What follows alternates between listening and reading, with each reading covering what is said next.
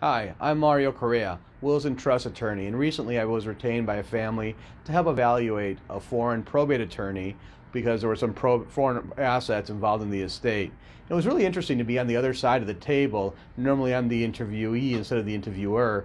And it really made me consider what clients are thinking about, or future clients are thinking about when they meet with me. And here's some of the questions I had for them, and I'm going to answer them in context of what we do. Um, the first question I had to ask them is Have they done this before? Have they done a lot of these? And in our case, we've been doing probate and estate matters for over 25 years now.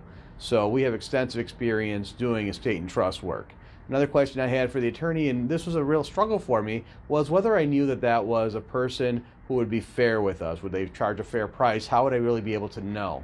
Um, because when you retain an attorney, you're paying on an hourly rate. So I thought maybe it's important to consider some of the things about me that I'll share uh, more in my personal life so that would help you make that evaluation. I mean, I've been a father of three boys. I was uh, raised and went through Catholic school. Um, and some of the interesting things about me that you may not know is I was formerly a CPA. Um, in addition, I was for at least seven or eight years the uh, president of the Logan Square Chamber of Commerce. I'm actually currently acting as a commissioner for the Sauganash SSA, SSA number 62, and I stay involved in uh, the community because in the end, the operation of a law firm, what we look at it as, it's not just about revenue. It really is about providing a service to the community. And we care intimately about that service and then providing you with that care that you need.